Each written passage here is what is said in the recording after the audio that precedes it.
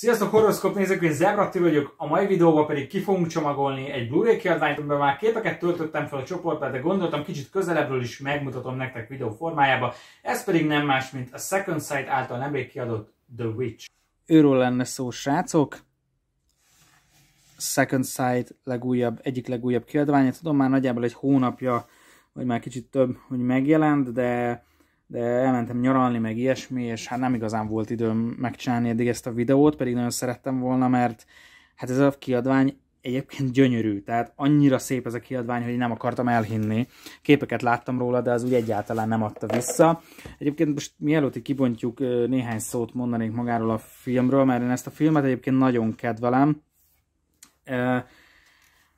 Nemrég volt egy beszélgetésem a Balázs csatornán, a 8. utasabb Balázs csatornán, ahol egy picit bővebben már beszéltem erről a filmről, de azért itt is néhány szóban elmondom, hogy én egyébként baromira szeretem ezt a filmet. Alapból szeretem a, a folk horrorokat, például mint a Vít, nagyon, nagyon jó atmoszférával rendelkezek szerintem, és hihetetlenül izgalmasak ezek a dolgok, amik a régi mondákra épülő horrorfilmek, amikor ezt egy kicsit modernebb feldolgozásba megkapjuk.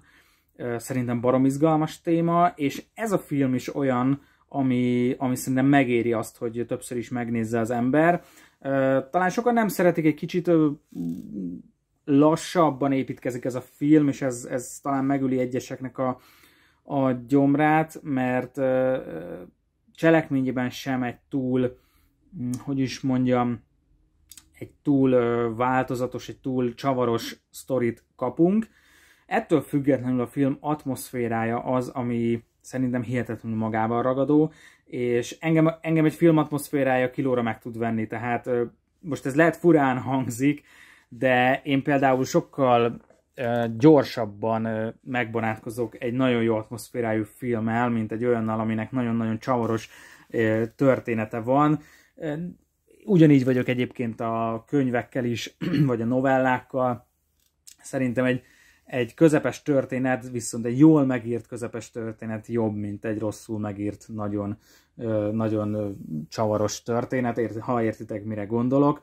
Úgyhogy így vagyok a filmekkel is, hogy egy picit egyszerűbb a története, viszont olyan atmoszférát tud teremteni, magába szippant, akkor az nálam, akkor az nálam nyerő, és a Witch az tökéletesen ilyen, mert egy szálon fut a cselekmény, nem túl bonyolult az egész, és mégis egy olyan hihetetlenül király, király atmoszférája van a filmnek, hogy, hogy egyszerűen szerintem nem lehet elmenni mellette.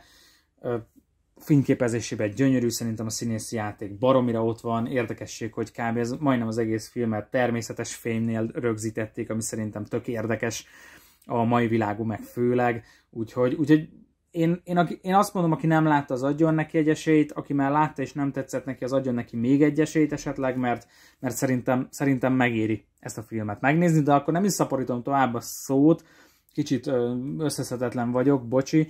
Nézzük is meg, hogy mit kapunk egyébként a Second Sight-tól, hogyha megveszik ezt a filmet. Itt vannak, itt van maga a két lemez, amit kapunk hozzá, egy ilyen kis papírtokban van benne ott van benne Blu-ray-en, és 4K UHD-ben, néz ki.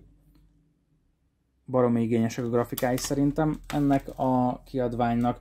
Kapunk néhány kártyát, amik, át, amik Isten királyok, tehát ezek barom jól néznek ki szerintem ezek a kártyák. Itt van maga, ami a borítón van.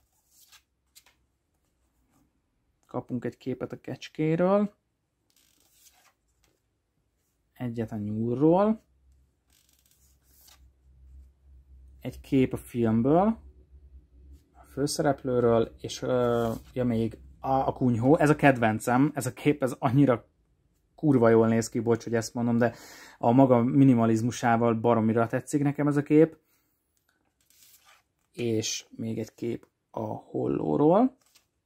Így néznek ki. És akkor még amit, amit kapunk a filmhez, amit én így, így először nem is akartam elhinni, hogy egy kemény kötésű kis könyvet basszus, így a kecske van az elején a könyvnek, mint látjátok, én, én nagyon meg voltam rajta lepődve, hogy, hogy magyar forintra átszámolva ez a kiadvány nagyjából 15 és 20 ezer forint között van.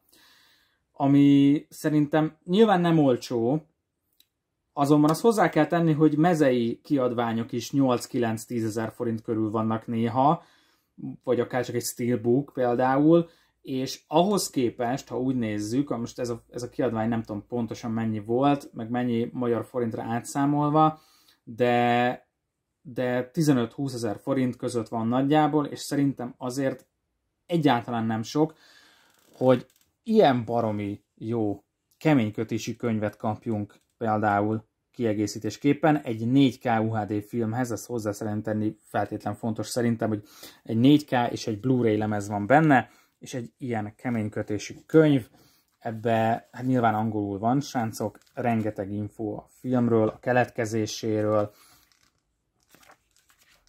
képek a filmből,